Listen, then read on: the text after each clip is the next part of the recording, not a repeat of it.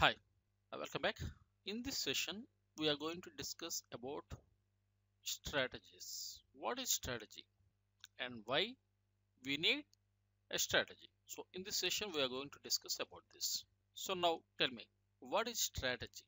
According to Wikipedia, just check a high level plan to achieve one or more goals under conditions of uncertainty, which means we should have a plan high level plan to achieve our goals. And a strategy generally involves setting goals determining actions and resources to execute actions. You can see this here. A strategy involves setting goals actions to achieve goals and resources to execute actions. In financial markets what is a strategy? What is a trading strategy Again, a high level plan to achieve our goals. Here, what is our goal? Winning trades is our goal. To win the trades, we should have proper setups. To get proper setups, we need resources, tools, ideas. Okay. So, if you want to develop a strategy, you should have some resources. Why we should have a strategy, a trading strategy? In financial markets, we have two benefits. The first one is obviously to win the trades. And the second benefit is to control our emotions. Always I am talking about controlling emotions. Controlling, controlling, controlling. How to control your emotions. If you are following a strategy, you will automatically control your emotions because you are trading under some set of conditions if all those conditions are met, then only you will trade. Otherwise, simply keep quiet. So this is the major benefit in financial market. So we should have a strategy. For example, I will talk about a simple strategy, a simple strategy actually. Of course, uh, in my previous videos also, uh, in moving average sessions, uh, I have explained that strategy. Uh, once again, uh, I will explain about that. 50 SMA and 12 EMA strategy. We use two moving averages here. In 50 SMA and 12 EMA strategy, if you want to buy, price should be above 50 SMA and uh, this 12 EMA should be above 50 SMA and now price has to come back and close under 12 EMA or both moving averages and finally price has to close above 12 EMA. Stop loss is below swing low and take profit is 1 is to 1 risk reward ratio or 1 is to 1.5 risk reward ratio. So this is the first condition, this is second condition, this is third condition, this is fourth condition. If you want to sell the same, price should be below 50 SMA, 12 EMA should be below 50 SMA, price has to come back and close above 12 EMA are both moving averages. Finally, the fourth condition is price has to close below 12 EMA and stop loss is below swing high and take profit is 1 is to 1 or 1 is to 1.5. All set, right? Now, if you want to trade any chart, whether it may be currency or uh, stock market, whatever it may be, what you do, you wait for all these conditions to meet first and then you trade. Once you trade, this is your stop loss and this is your target. That's it. I will show you a live example. Uh, this is a forex chart. Today we got a beautiful trade setup in Euro USD. See, actually yesterday also we got one opportunity trade setup. Today also. Yesterday the first condition price closed below 50 SMA. This is the first condition. I will show you step by step. This is the first condition. Again price went back and again closed below. Now we can say this is the first condition still. And this 12 EMA closed below 50 SMA here in this candle. So this is the second condition. In this candle second condition has been met. Now the third condition is price should go back and close above this 12 EMA or both moving averages. So this time price closed above this 12 EMA. After that, what happened? Price closed below 12 EMA. So this is the trade setup. This is the final condition. After closing of this candle, we will sell, which means after closing of this candle means this is the next candle. Opening of this candle, we will sell.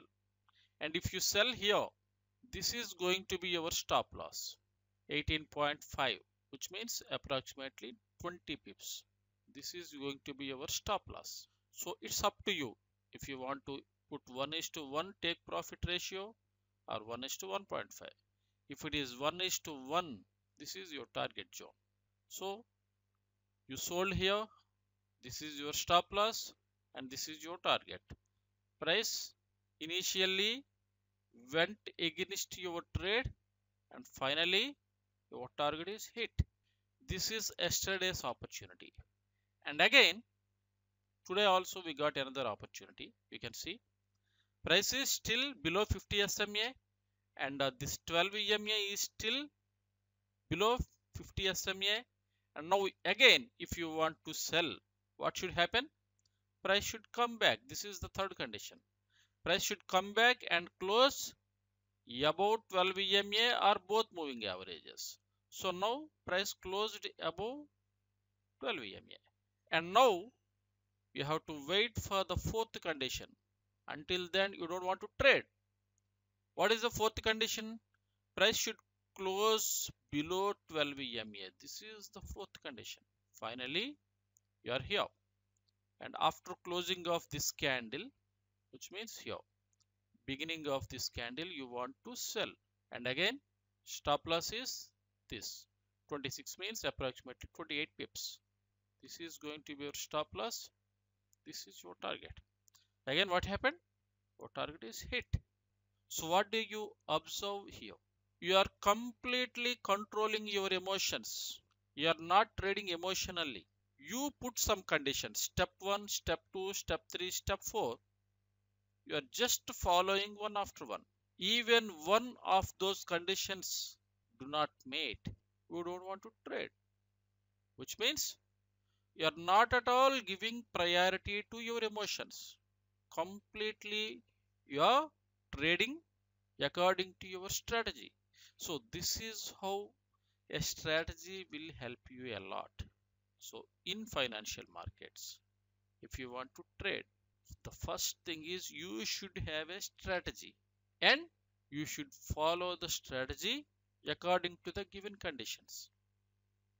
Of course, periodically you have to review the strategy and if necessary you can add some more filters to the strategy to avoid losses whether you can filter some losses and now I will show you another chart this is Bank Nifty.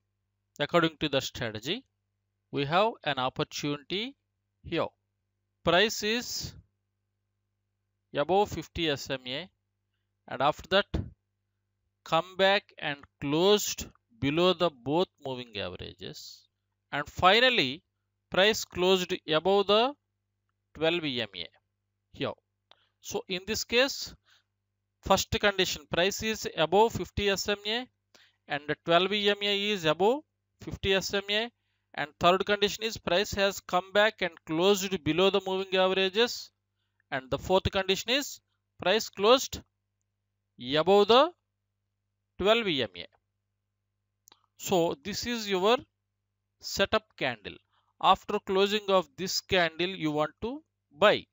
Here you want to buy and this is going to be your stop loss 125 points. And your target is this. Already hit. So this is a beautiful buy setup in bank nifty. And of course here.